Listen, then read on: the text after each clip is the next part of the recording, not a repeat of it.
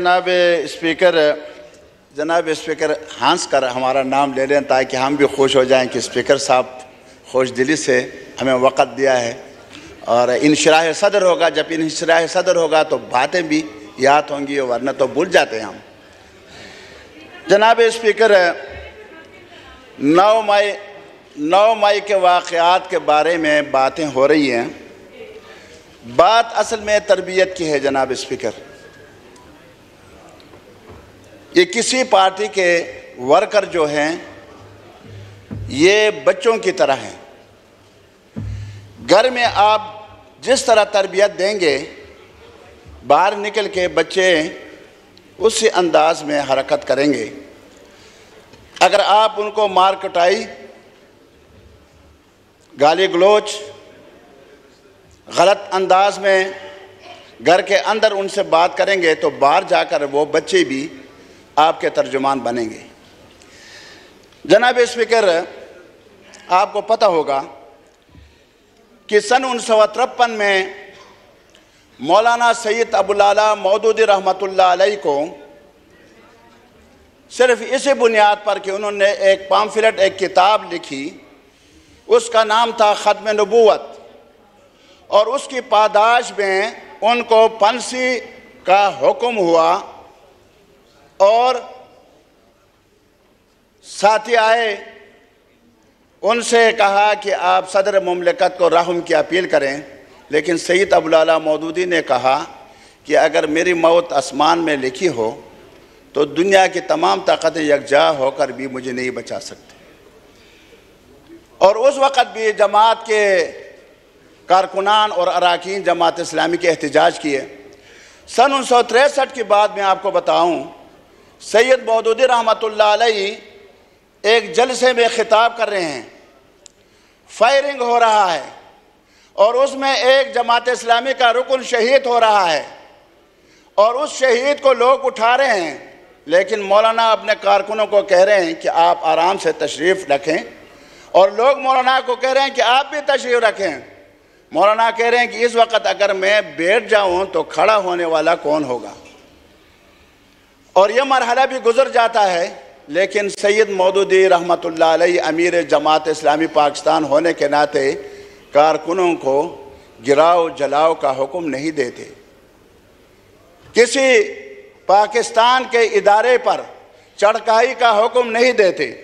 जनाब स्पीकर, इसके साथ साथ डॉक्टर नज़ीर शहीद, डॉक्टर नज़ीर को शहीद कर दिया गया। और मौलाना जान मोहम्मद अब्बासी के साथ जो कुछ हुआ और अभी अभी अभी। बलोचिस्तान में अमीर जमात इस्लामी पाकिस्तान जनाब सिराजुल हक पर जो ख़ुदकुश हमला हुआ, मैं आपका भी और इस हवस का भी शुक्रिया अदा करूँगा कि आपने कल मुतफ़ा तौर पर एक करारदाद ये एक इजहार यकजाती है। हर पार्टी का लीडर, हम सब का काबिल एहतराम सब के लिए काबिल एहतराम है। तो आप लोगों ने मुतफ़ा तौर पर एक करारदाद यहाँ से पास की। मैं अपने तरफ़ से, जमात इस्लामी की तरफ़ से और सिराजुल्लाह की तरफ़ से आपका शुक्रिया अदा करता हूँ। लेकिन इसके बावजूद वहाँ हमारे कारकुन ज़ख्मी हुए और सिराजुल हक साहब ने बजाय इसके कि वहाँ वो जुलूस निकालते और तोड़ फोड़ करते, बल्कि उन ज़ख्मियों को हस्पताल ले जाने में मदद की, वहाँ गए अब मरीज़ों के साथ मुलाकातें की, उनके पास रहे, फिर जलसे आम भी किया। फिर पूरे पाकिस्तान ने, आपने देखा, हमने, मैं ख़ुद यहाँ इस्लामाबाद में मुजाहरा था, उसमें शरीक हुआ।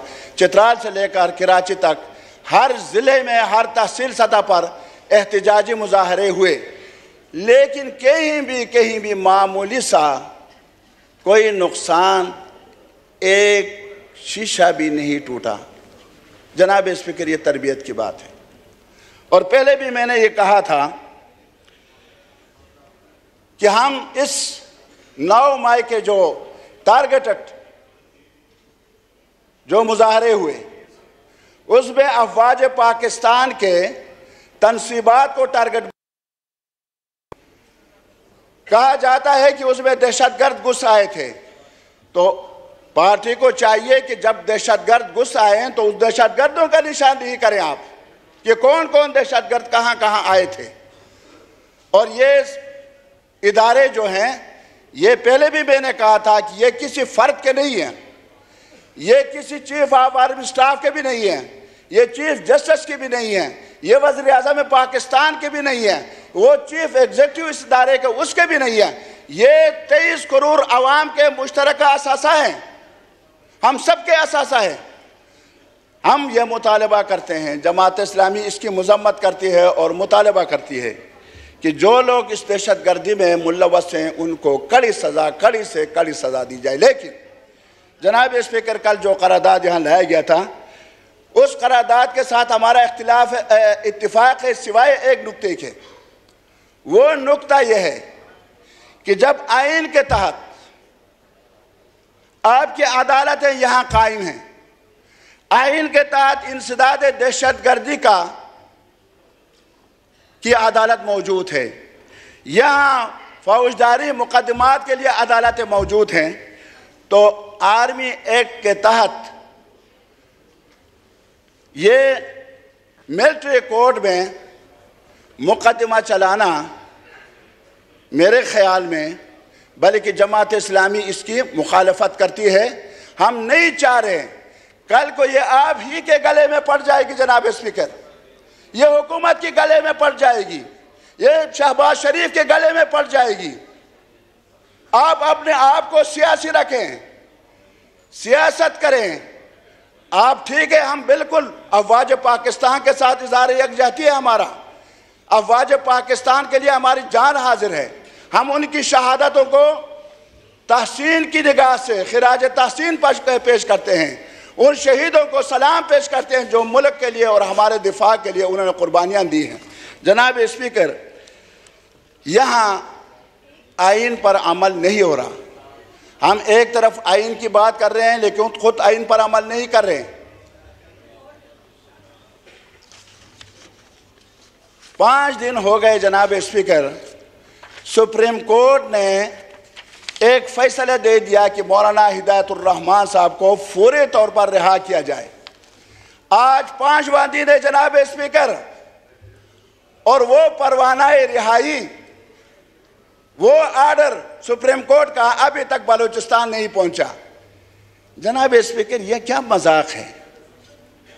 ये कैसे, कैसी अदालत अदालत इंसाफ मुहैया करती हैं? क्या ये इंसाफ है? कि एक इंसान बलूचिस्तान के लिए रोज़गार मांग रहा है। एक इंसान वहाँ मुनशियात का खात्मा चाहता है। एक इंसान वहाँ तालीमी निज़ाम चाहता है। बच्चों के लिए तालीमी दर्जगाहें चाहता है। उसको जो है आप गलत केस में, कत्ल के केस में जेल में डालें और फिर सुप्रीम कोर्ट फैसला करे तो उस पर अमल आप न करें। ये कहाँ का इंसाफ है जनाब स्पीकर? जनाब स्पीकर, इसी तरह हम आइन की बात करते हैं, जमहूरियत की बात करते हैं, लेकिन कराची में जो कुछ हो रहा है, ये क्या ये आइन के खिलाफ नहीं हो रहा? अगर मेयरशिप जमात इस्लामी को मिल रहा है तो क्यों नहीं दिया जा रहा? क्यों उनसे उनका हक छीना जा रहा है? क्यों उनके नंबर कम हैं? अगर नंबर ज़्यादा हैं, किसी पार्टी ने जमात इस्लामी की हिमायत की तहरीक इंसाफ ने हिमायत की तो ये नंबर उनके ज़्यादा बनते हैं। फिर भी उसके राह में रुकावटें डाली जाती हैं। और वहाँ के मंतखब मम्बरान को या गिरफ़्तार किया जाता है, या उनको कहा जाता है कि आपको उठा लेंगे और आप जो है ना, हालत बर्दारी के लिए ना आए। ये जमहूरियत है जनाब स्पीकर। ये आइन पर अमल करना है। जनाब स्पीकर, इसी तरह मैंने पहले भी कहा था, कुरान और सुन्नत के रूह से मुलजिम मुलजिम है, मुजरिम मुजरिम है। मुजरिम के बजाय उनके वालिद, वालिदा, उनके बहन, भाइयों, उनकी बीवी को तकलीफ़ देना शरान हराम और नाजायज है, जनाब स्पीकर। ये कहाँ का इंसाफ है? मुजरिम मैं हूँ, मैंने गलती की है, मेरे वालिद साहब को क्यों उठाया जा रहा है? मेरी मेरे बहन भाइयों को क्यों उठाया जा रहा है? जनाब स्पीकर मुजरिम में हूँ तो मुजरिम को पकड़े आप। मुजरिम को पकड़ नहीं सकते। आप 26 एजेंसियाँ हैं आपके 26 एजेंसियाँ। 26 जनाब स्पीकर 26 वो क्या कर रही है? उनको ये तो पता होता है कि अब्दुल अकबर चित्राली इस्लामाबाद में दाखिल हो गया, यहाँ से निकल गया। मुजरिम का क्यों पता नहीं होता? उनको पता होता है जहाँ कहीं जलसा होता है यहाँ खुदकुश अफ़गानिस्तान से आ रहा है फलान जगह से आ रहा है। दो दिन तीन दिन पहले आपको बता देते हैं कि यहाँ खुदकुश हमला होने वाला है और वहाँ से फलां फरत आ रहा है। लेकिन यहाँ अपने मुल्क के अंदर रहते हुए एक शख्स की शनाख्त होते हुए उसको गिरफ़्तार न करना क्या ये एजेंसियों की कमज़ोरी नहीं है जनाब स्पीकर? जनाब स्पीकर मैं प्लीज़ वाइंड अप कीजिए। बहुत वाइंड अप कर रहा हूँ। बहुत लंबा हो गया। जनाब स्पीकर आपकी वसात से मैं बलूचिस्तान हुकूमत से ये मुतालबा करता हूँ कि देखें एहसास महरूमी बलूचिस्तान में बहुत ज़्यादा है। और ये एहसास महरूमी सिर्फ़ इसी वजह से जनाब का पॉइंट आ गया करारदाद भी कल होगी थी। मौलाना साहब का माइक खोलें। मौलाना साहब वाइंड अप कर लीजिए। ये देखें जी, एहसास महरूमी की वजह से वहाँ खलफशार है, सियासी इंतशार है, आदम इस्तेकाम है। लोग जो कुछ वहाँ कर रहे हैं, उसकी अब सूरत हाल यह है कि पूरे मुल्क में जनाब स्पीकर इसको बुरा न मनाए। मैं खुदा की कसम, अल्लाह को हाजिर, नाजिर जानकर मैं सियासत नहीं करता। मैं अपने मुल्क के लिए मुझे रोना आता है, जनाब स्पीकर मेरा मुल्क तबाह हो गया है जी। मेरे मुल्क में मुझे मेरा मेरे इज़्ज़त मेरे माल मेरे जान को पूछने वाला कोई नहीं है जनाब स्पीकर। सूबों में हुकूमत नहीं है। कोई भी ये नहीं कह सकता कि आप घर से मैं निकल रहा हूँ खैर खैरियत से मैं वापस घर आ सकता हूँ यानी यही सूरत हाल बलूचिस्तान में है। यही सूरत हाल कराची में है। यही सूरत हाल लाहौर में है। यही सूरत हाल आपके इस्लामाबाद में है। यही सूरत हाल पिशावर में है। अल्हम्दुलिल्लाह चित्राल एक पुरअमन इलाका है। वो अलग लेकिन पूरे पाकिस्तान इस वक्त आग में जल रहा है। और गरीब जो है गरीब जनाब स्पीकर हम इन बातों में लगे हुए हैं। लेकिन गरीब शाम का खाना उनको मुयसर नहीं है जनाब स्पीकर। अपने बच्चों को खिलाने के लिए पैसे उनके जीप में नहीं है। उनको उनको यानी तालीम देने के लिए बहुत शुक्रिया। थैंक यू थैंक यू आपका बहुत अच्छा पॉइंट आ गया। जी सलाउद्दीन साहब